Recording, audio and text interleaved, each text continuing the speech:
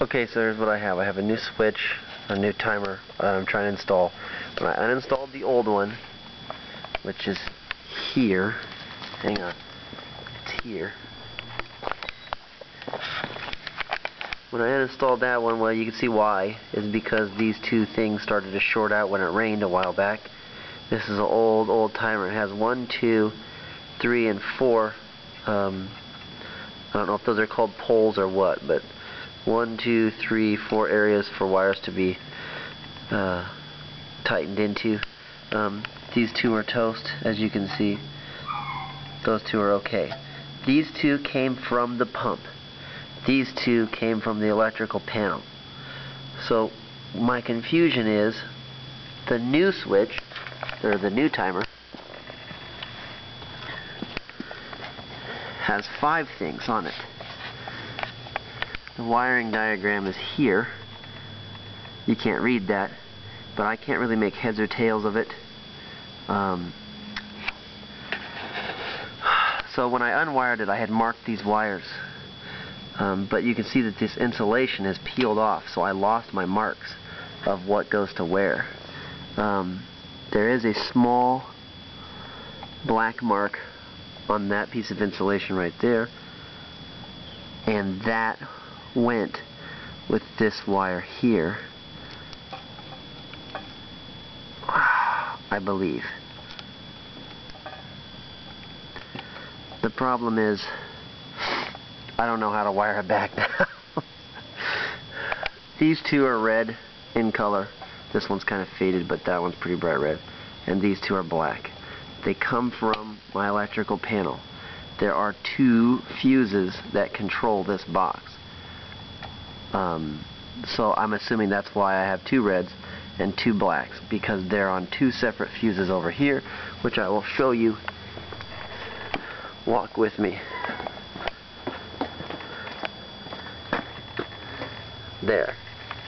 Uh, bad lighting. Those two. 220 amps.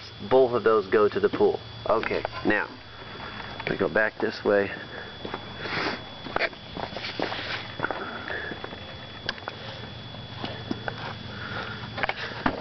Those two white wires are to the clock motor. So says this wiring diagram over there. Okay, fine. They show a third wire coming from the clock motor to what they call terminal 1. This terminal on the left they call A, this one they call 1, this one they call 2, 3, and 4. So the clock motor has a wire on A and a wire on 1. But there's this weird dotted line you can't see very well. That line is dotted and it goes to number one also. So I'm not sure what that means. First question. Fine, I guess it's already internally wired in there. Great. Okay.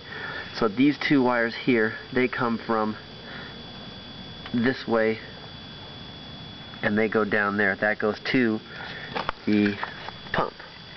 Hello. Yeah, my nice shoes. Okay.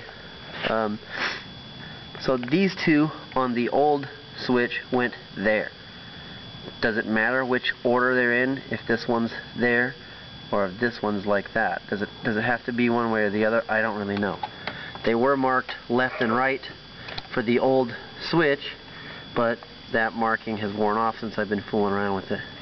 Now, comes the tricky part. I swear to you that these were wired one black to one red and the other black to the other red and that those were then put on a pole each. So you had one black and one red here, one black and one red here. On the old thing, that's how it was. Maybe that's not how it's supposed to be on the new thing, but that's how it was. So should I put black to red again and then black to this other red here again? It doesn't make any sense to me. I thought that reds should go to reds, black should go to blacks. A red would, the two reds would go here, the two blacks would go there, the end.